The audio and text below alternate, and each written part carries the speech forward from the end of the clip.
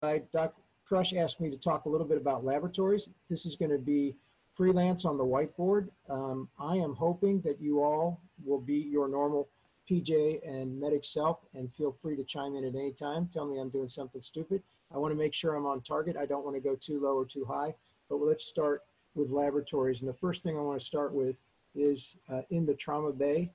We'll talk about laboratories because this is one, I've, as Doc said, I've had seven deployments and most of what, and all of what I'm going to tell you, I learned on deployment and then took back to Cincinnati, Ohio, where we ran a trauma center.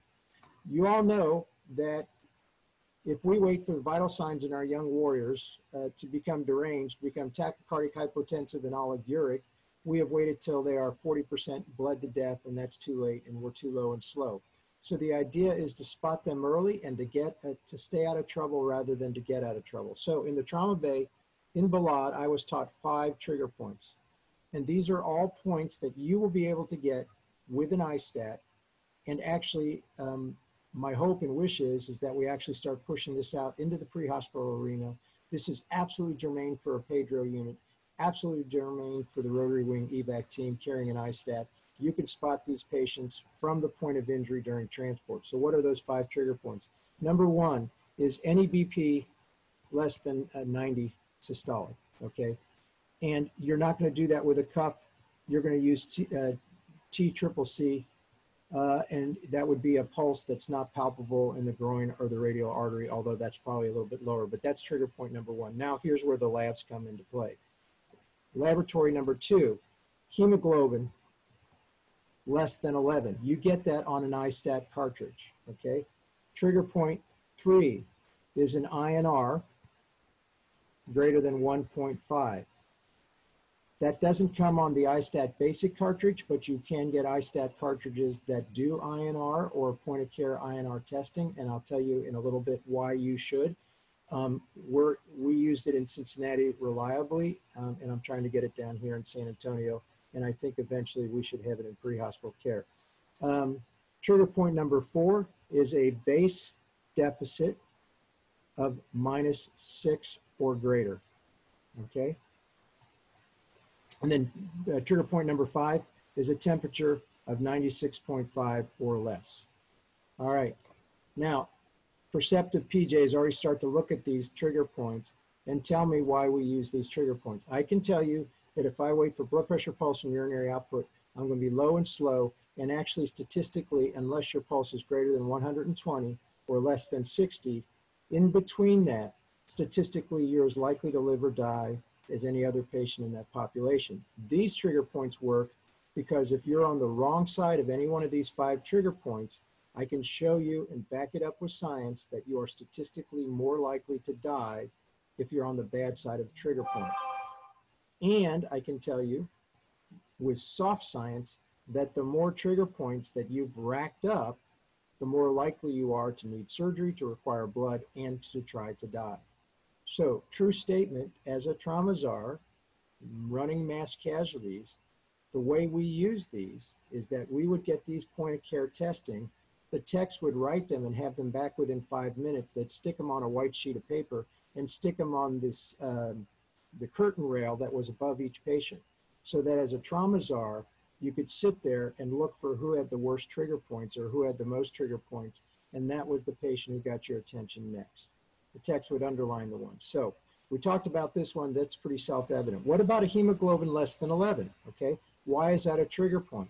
Well, you all know very well that if you're shot or the casualty shot and they're bleeding whole blood out onto the sand, you could check their hemoglobin or hematocrit and it most likely would be normal, and I agree.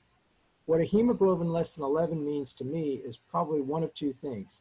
Either that the patient's been sick long enough that blood has re-equilibrated, or what it can also mean is that in the pre-hospital care setting or until you got your hands on them, somebody was giving them too much crystalloid and hemodiluting them out. Okay, so hemoglobin less than 11 works. I can tell you that if you arrive in my trauma bay with a hemoglobin less than 11, you're about twice as likely to die than if you're having a hemoglobin greater than 11. INR greater than 1.5. What is INR? INR is International Normalized Ratio. It's a clotting test initially used to evaluate warfarin but it tells you whether a patient's coagulopathic or not. What's fascinating to me as a trauma surgeon is there's lots of literature now that tells us that the moment the trauma patient hits the trauma bay, and this can be within 30 minutes of getting whacked, the patients can already be coagulopathic. And about 15% of seriously injured patients show up with coagulopathy as manifested by an INR greater than 1.5. All right. Now, I wrote these in sequence for the reason specifically. Hang on with me. Let's go to trigger point number four. And as we talk about blood gases, we'll talk more about acid-base balance. But base deficit, as you know, is a way of calculating the amount of acid in the bloodstream. Put another way, it is the calculation of how much buffer or bicarbonate you would have to add back into the bloodstream in order to make the patient's pH a normal level. A base deficit greater than minus six means the patient's generating acid. In the trauma setting, if they're generating acid, it's lactic acidosis. Those are all things we'll talk about, all things we need to know.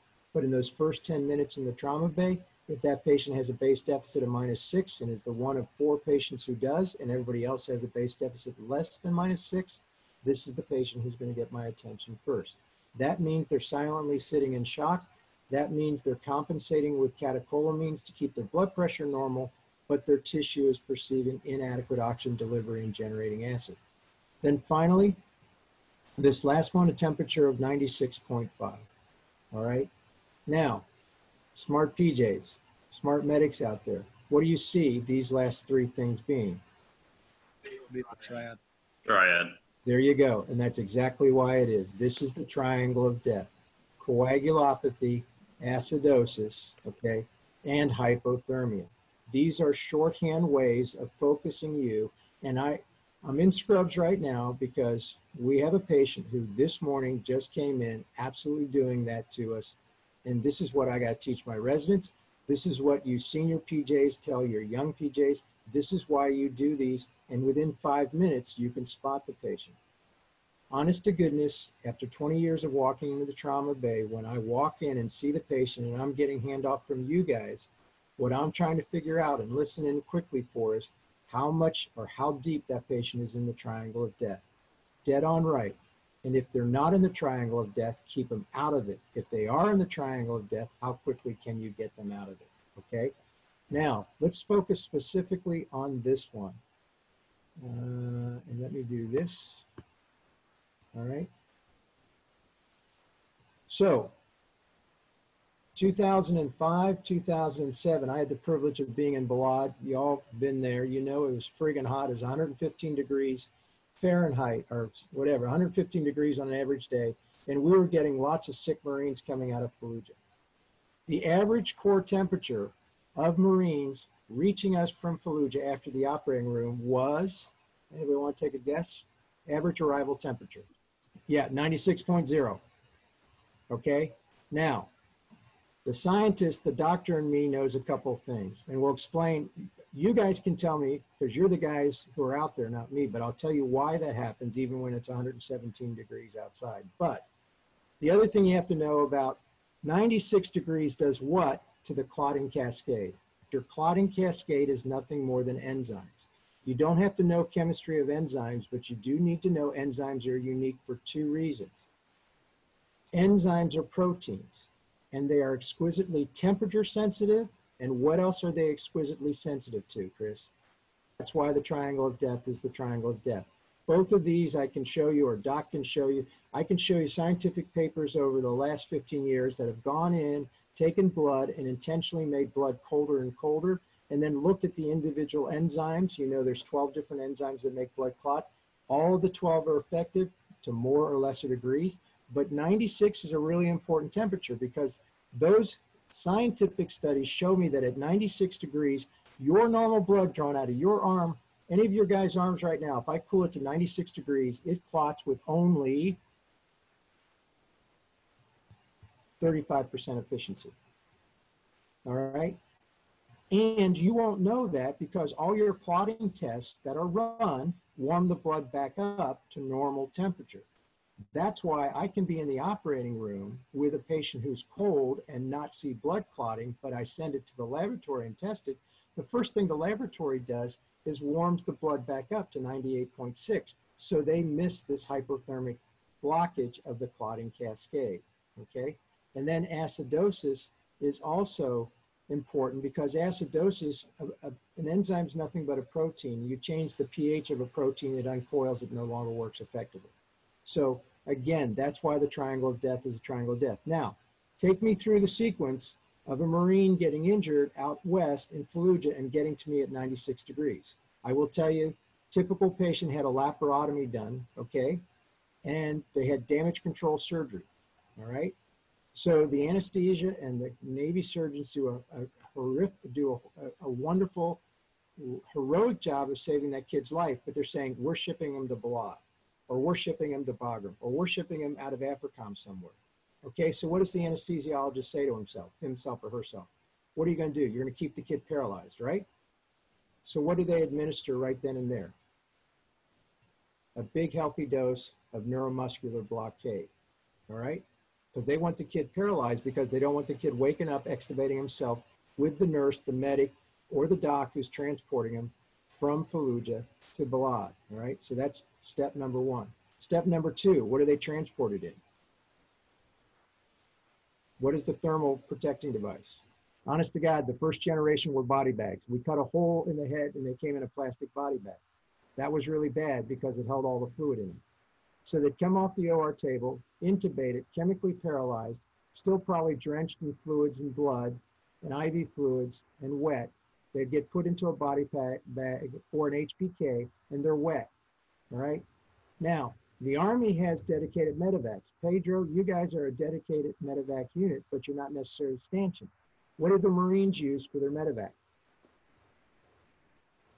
And so what would that aircraft of opportunity be? Usually be a CH-53, and they would get loaded right onto the aluminum floor of a CH-53 in a NATO stretcher, in a body bag, and they were wet. All right?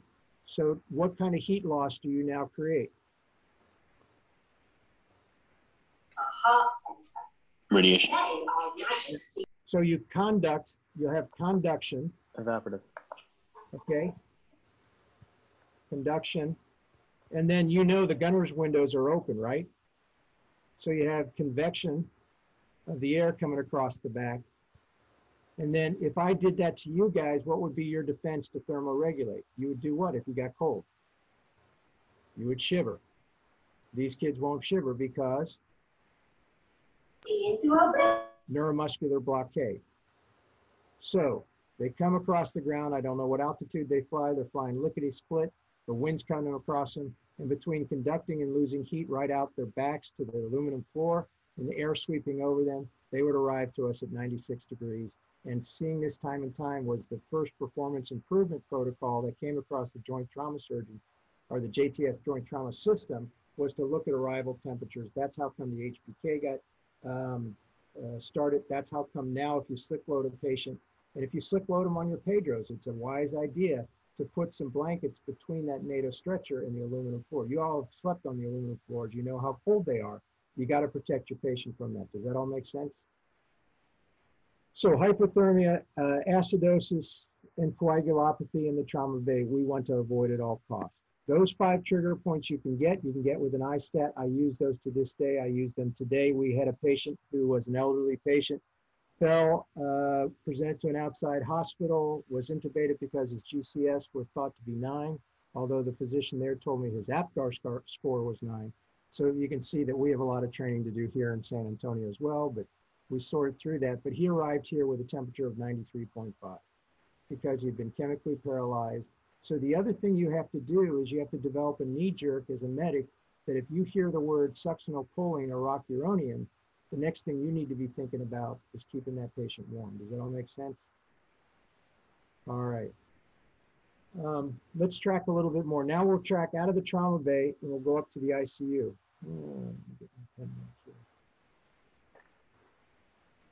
All right, we'll talk about blood gases, arterial blood gases.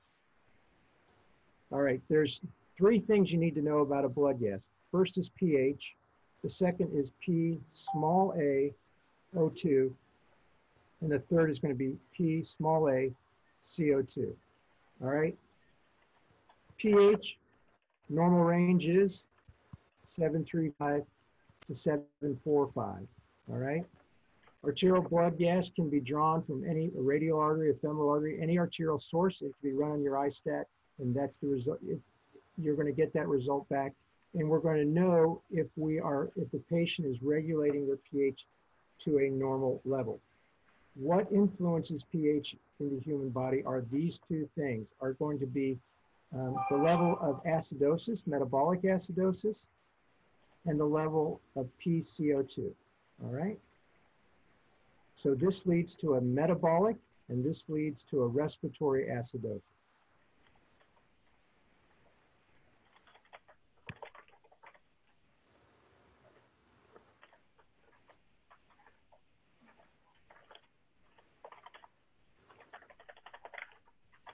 Mic, somebody's typing out there too. All right. Thanks. Let's see. Let's get back, see if we can get back to a regular. All right. So first thing, pH. I look at the pH. If it's seven, less than 735, it is an acidosis. If it's greater than 7.45, it is an alkalosis.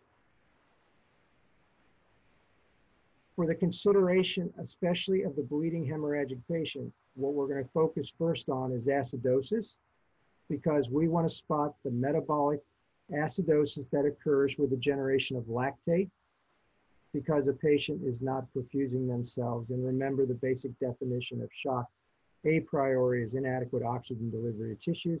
When we stop delivering oxygen to tissue, we generate lactate that's manifested in acidosis you can measure that on a blood gas. So if we get a pH less than 735, by definition, it is an acidosis. Then the next step is there are two types of acidosis. It can be respiratory or metabolic. How do you sort that out? The next thing we have to do is look at the amount of carbon dioxide in the bloodstream because excessive carbon dioxide dissociates and creates the acid of a respiratory acidosis.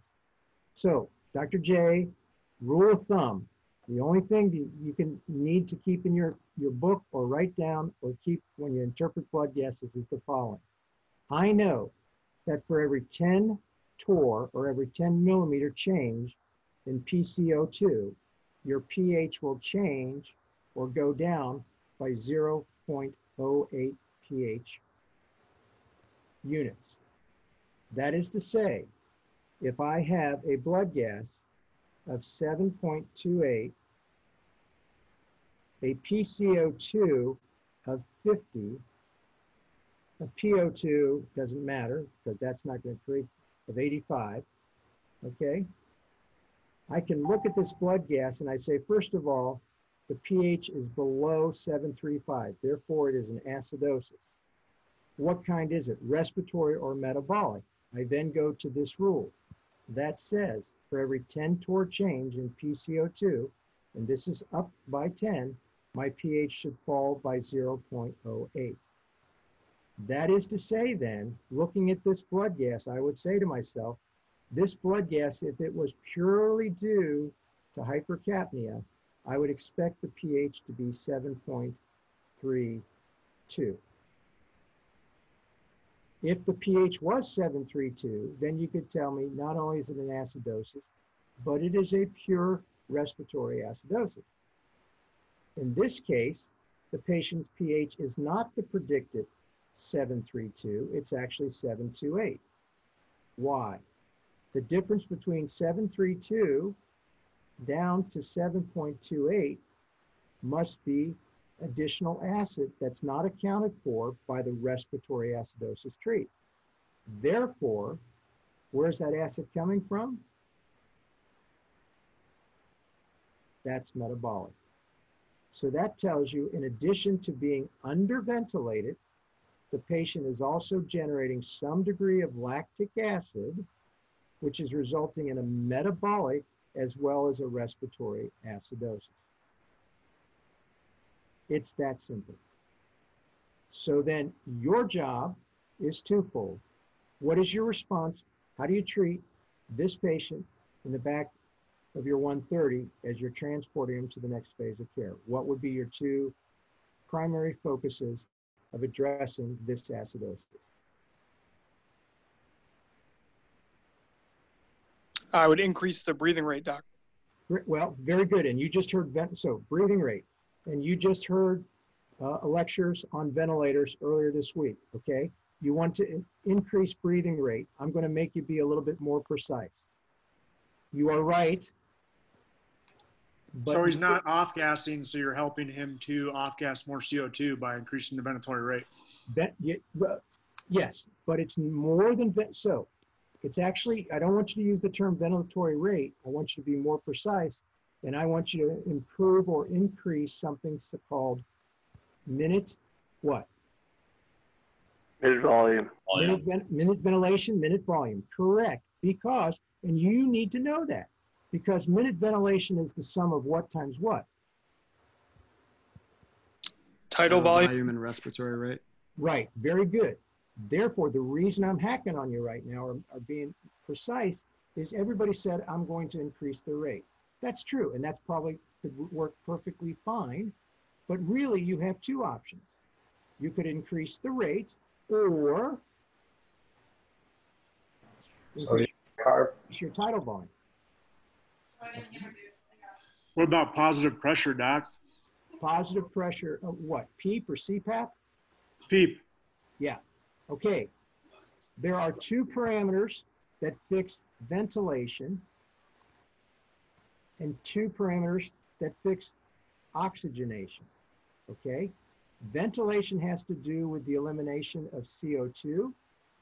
Oxygenation has to do with your SAT, Okay, the two dials that you twist on a ventilator to make oxygenation better are PEEP and FiO2. So increasing pressure or PEEP, that's a way to open up alveoli. When you open up more alveoli, you're better at oxygenation. But what gets rid of CO2 isn't opening the alveoli, it's flushing them back and forth in mass movement of gas. Therefore, if your problem is CO2, you're going to address minute ventilation, and those two dials are going to be respiratory rate and tidal volume. Pressure, which is PEEP, and oxygen, which is FiO2, are going to address oxygenation, okay? And really, when it comes down to ventilators, don't let um, any doc convince you that it's, it's, it's really tough. There's only four buttons you need to twist. And whether you're using the 731 and at a later day, in a later time, I'll tell you that there are other ventilators out there that, in my opinion, are really dangerous. Um, but we'll go into that later. But the 731 or any ventilator that we use out there, transports the 754, the T1, the LTV, the ones that are going to be coming out because of this COVID, you really only need to know how to change the rate, the tidal volume, the FiO2, and the P. Okay? So it's that simple. So we talked about this blood gas. You are correct in your first, you're going to have a two pronged attack to fix this acidosis. The first of which is to improve this by increasing minute ventilation. Okay, that's right. And then the second prong is to fix your metabolic acidosis. How are you going to do that?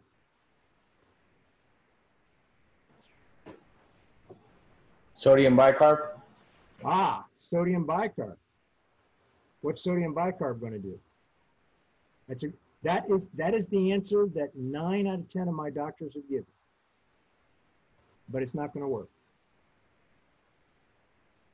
Why will sodium bicarb not work? This is what everybody forgets. So, Dr. Crusher, you still on board? Yes, yes. You got it. You're the sci- Yeah, you're the scientist, not me, but you're the chemist. But keep me honest here. Let's go through why bicarb doesn't work. All right. Sodium bicarb.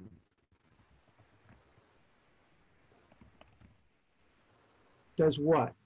Dissociates into sodium and plus two and bicarbonate ion and generates CO2 plus water. Okay? When you use sodium bicarb, what you're trying to do is you're trying to absorb use absorb uh, the acid by driving this equation to the creation of carbon dioxide and water. But if the patient already has elevated CO2 levels, this elevated CO2 is not going to allow the equation to move to absorb acid. It's actually going to try, it's, it's going to keep bicarb over here as bicarb and not allow it to do its buffering job because you're trying to drive the equation against elevated CO2. That's a little bit of chemistry, but bicarb never works in the setting of elevated CO2. Number one. Number two, your trauma medics. When you come across a patient who is acidotic, the number one cause of acidosis is what? Blood loss. Shock. Right? And therefore, if it's shock, it's inadequate delivery of what to where. Oxygen to the tissues. Right. So your strategy, your first and foremost strategy, and then we can talk forever, is I this metabolic acidosis must mean that my patient's tissues are not receiving enough oxygen to some body or chunk of tissue isn't seeing enough oxygen. So my job is to improve the delivery of oxygen to the patient. So far, so good? Copy? All right, so what's your first strategy? Give blood. Stop the bleeding, okay? And, all right, and give blood.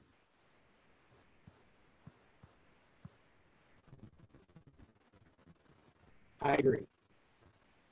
Bear with me for one second because this will be the final thing we'll talk about.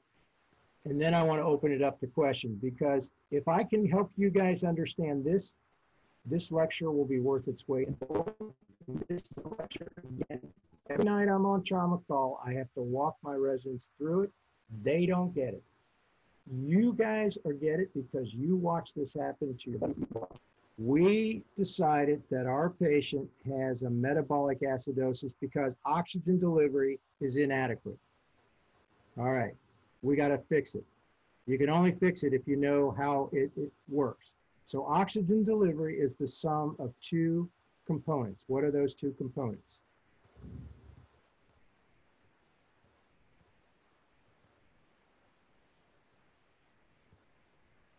Flow times content. Yes? Blood Nothing. pressure. Nothing up my sleeves, all right? What is flow in the human body? Blood What- pressure. Not, not blood pressure. Car- cardiac output. Very Good good. Cardiac output is flow. Cardiac output is flow. All right. What is content? Content is the amount of oxygen your blood holds. Your blood holds oxygen in two forms. What are those two forms? Hemoglobin. Yep. dissolved. Very good. Stop right there and we're going to walk through this.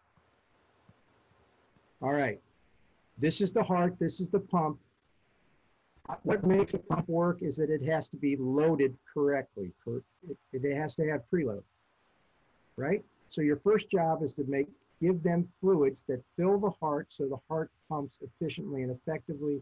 And if the patient's bleeding, the best fluid to give them back is blood because you do two things at once. You fill the pump back up, you make the heart work better, and you improve confidence. Now, let's talk about this for just a second because, and you don't need to commit this to memory, but you need to just understand this. How do we actually calculate this? The number's actually calculated by taking your hemoglobin in grams and multiplying it by a number that represents how much oxygen hemoglobin holds if it is fully saturated. Then you said plus how much is dissolved. That's a tiny amount. All right. Now, why do I ask that you look at this? I ask that you look at this for the following reasons. If you know this, then you see one, two, three parameters that you in the back of your Pedro can fix. You can fix cardiac output, you can fix hemoglobin, you can fix oxygen saturation. Which one of those three is the most important or the most valuable? Which one of those three is the least valuable and gives you the least bang for your buck? What's the most, what's the least valuable of those three things to fix? PaO2. S, SaO2, saturation. You're exactly right again, Chris. Why? Why is SaO2 not worth chasing? Because you guys know saturation could be, if it's not, if your saturation is 92%, it's 0.92. If you make their saturation better and put them up to 0.98, 98%, you've only changed the math and the oxygen delivery by 0.06. Not very useful. What if you give that casualty a unit of whole blood?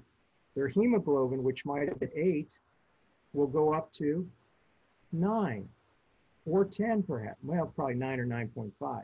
And each one of those grams you go up, you multiply by 1.34.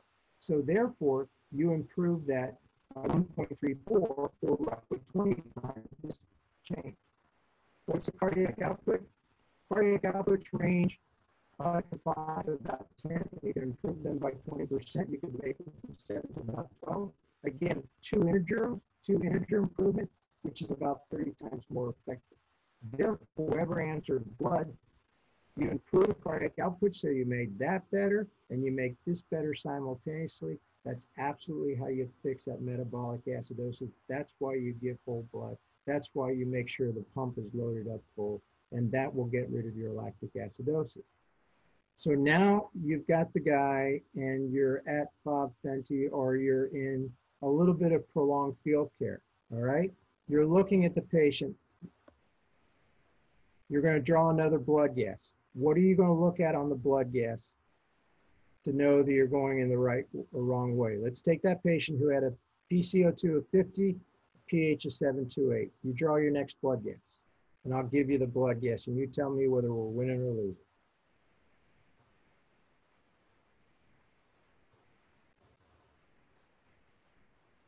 Your next blood gas becomes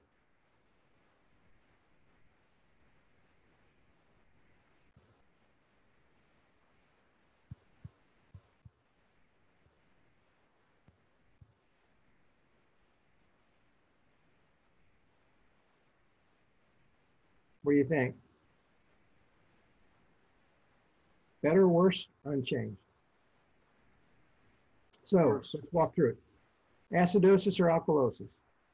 Strictly speaking, it's a mild acidosis because it's less than 7.4, okay? So if it's an acidosis, we look at PCO2 next. What's a normal PCO2?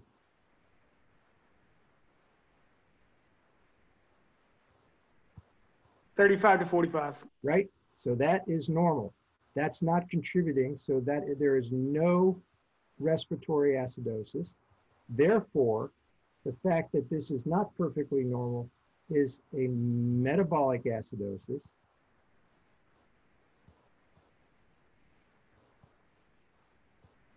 And that number is below my trigger point of minus six, but that is, he still has got a little bit of acid in his bloodstream. And this is where and I think perhaps I'm getting a little bit far astray now, but one of the things you'll often see in your patients, especially during prolonged field care, you can be going absolutely in the right way.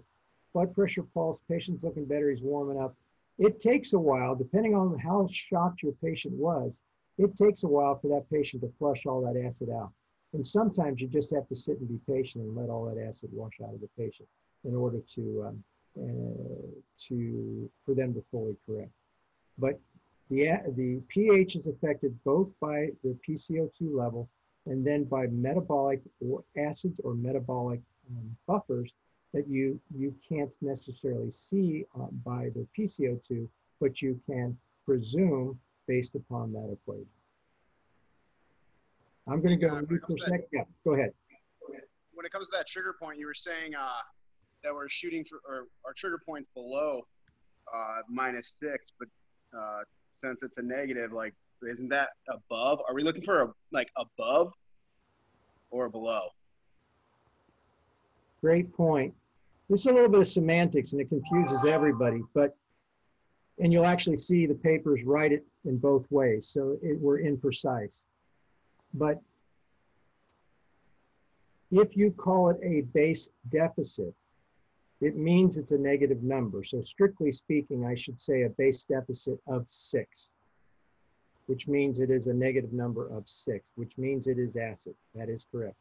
So um, we have, so if you got progressively more acidotic and you're deteriorating, that number, instead of being six, will go to eight, will go to 10. Whether it has a negative in front of it or not, a bigger number is more acid if it's a base deficit. A smaller number is less acid if it's a base deficit. Did I make sense of that? Or did I just make it muddier? Makes sense. Uh, So J is, uh, is minus nine more acidotic and worse than minus six? That is correct. Minus nine is worse, minus three is better, zero would be better, and plus two would be actually so good that you actually have buffer now and not acid. That is correct. And minus nine would make the hair on the back of my neck crawl in a trauma casualty. In fact, the guy who came in today had a base deficit of minus eight. And that's why I told the residents they couldn't leave his side. And that's why the residents had to stay at the patient's side until we delivered him straight up to the operating room where um, he currently is finishing up getting his bifrontal craniectomies. Yes. Other questions? Cool, so we have, uh, fifteen minutes left. Can you give an overview of, um, electrolytes, lactate, other stuff that, that they might be looking at on COVID patients, just general blood test stuff? Yeah, sure can. So we're all beginning, we're all still learning about what the most important endpoints are for COVID. But generally speaking, in the ICU, there's three broad, you're going to get chemistries, as Doc said. The second one you're going to get is a CBC or complete blood count. And the third one we're going to get, which we spent some time on, is the arterial blood gas. All right. So the chemistry, sometimes called a renal panel, a renal profile, Chem sevens, everybody has a different name for them. But basically, and you'll often see it written like this.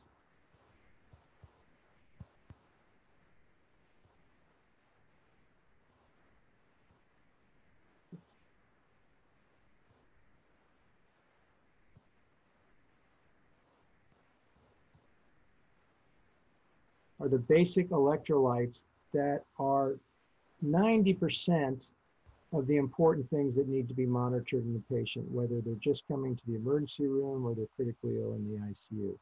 Walking you through here, sodium and potassium, Na and potassium, usually written in this sequence, okay, obviously are very important to maintaining cellular homeostasis and keeping the electrical gradients. Chloride and bicarbonate, Cl and HCO3, this one is actually a nice one to look at. It's called the blood urea nitrogen and the creatinine. So these are your chemical electrolytes that keep your cells working and your electrical charge working. This is actually more related to kidney function. Creatinine is the basic filtering capability of the human body. You'd normally like in a young healthy patient, you want that creatinine number to be 1.0 or probably less than 1.5 in a patient, all right? Um, it is something you're going to watch for patients, especially young soldiers with myoglobinuria from crush injuries, from ischemic injuries, et cetera. BUN is blood urea nitrogen, and that's useful because the efficiency of the kidney and how effective it is at being at filtering blood and how much blood it's actually able to filter is oftentimes looked at by looking at this relationship. So the one shorthand that I think we'll just use for today and can go into later, um, these two numbers, the BUN creatinine, can be used as a shorthand. The ratio can look at total volume status, okay?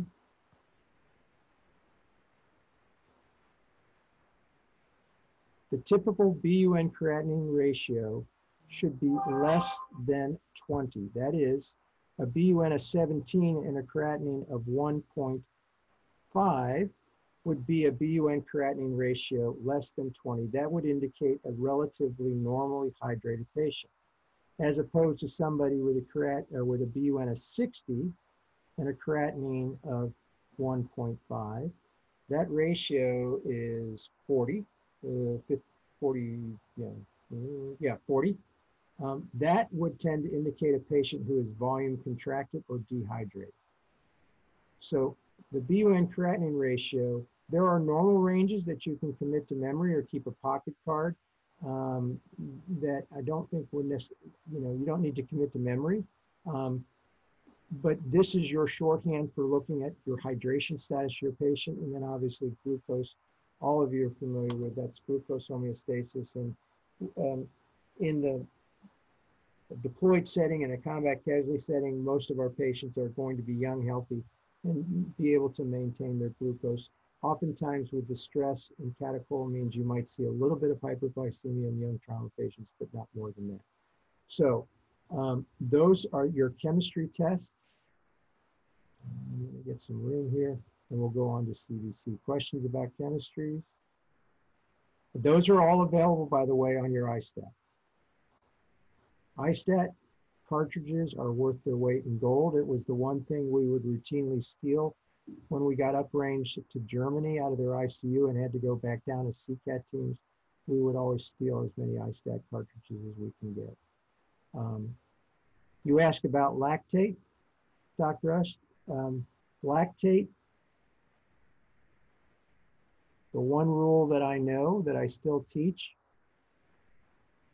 is that lactate tells you if you're winning or losing the battle.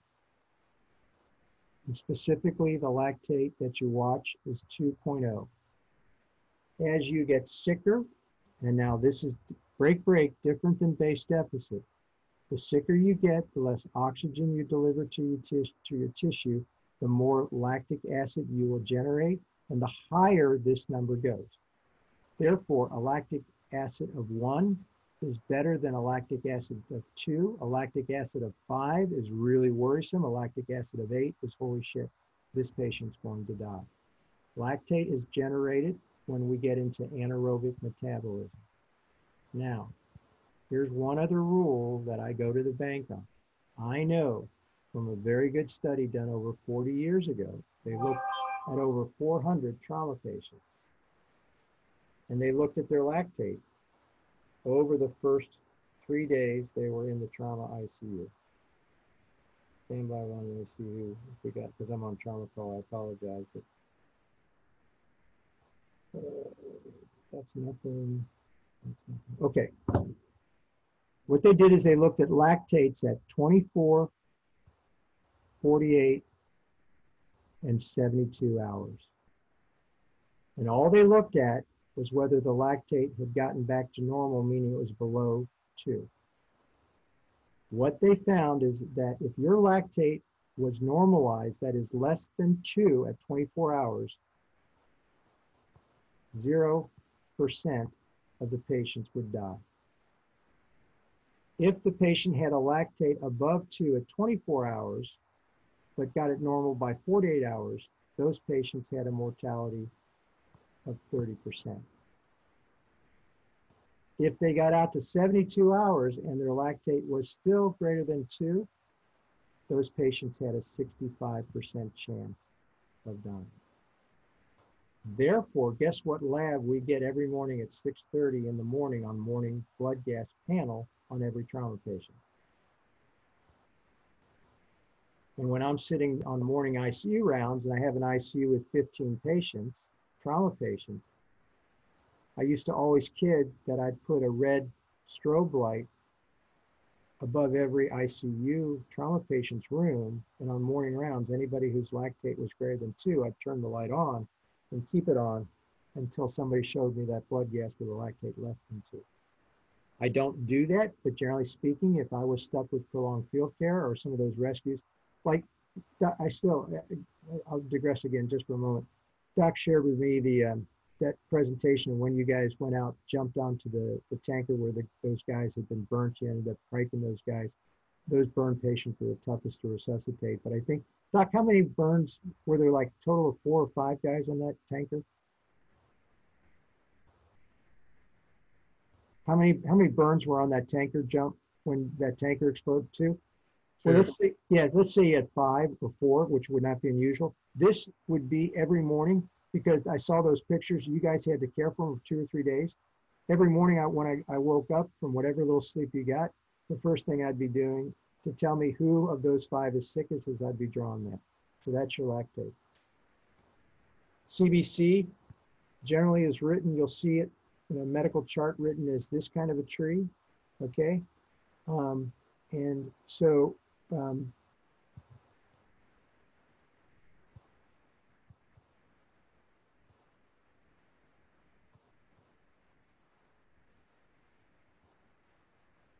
the old traditional way is using this algorithm is your white blood cell count goes on the left-hand side, your hemoglobin and hematocrit, which are really reflections of the same thing.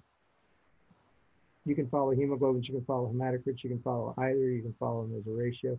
Um, those are put stacked on top of each other and your platelet count is over here on the right-hand side. White count, normal, something less than 10,000, probably less than 12,000 in a stress patient. This is indicative of infection and stress, as you know. Um, you can follow those. Um, then we'll get into the whole discussion a later date of what you do as the white count goes up. Hemoglobin, hematocrit, we've talked about, and that's you know my one editorial is I'm glad I'm I'm not going to retire before I watched whole blood come back.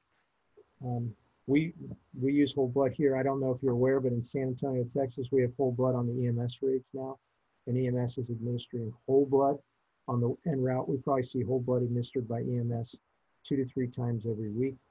And then platelet count. What do you need to know about platelet count? You probably don't need to know much unless it's less than 100,000. You start paying attention. Less than 50,000, patients won't make clot, right? And why will patients not clot with a low platelet count? As you know, the clotting cascade is all about making platelets stick together. We've talked about ABGs, we've talked about CBCs, we've talked about lactate, we've talked about chems. We're at 255. What do we got questions on?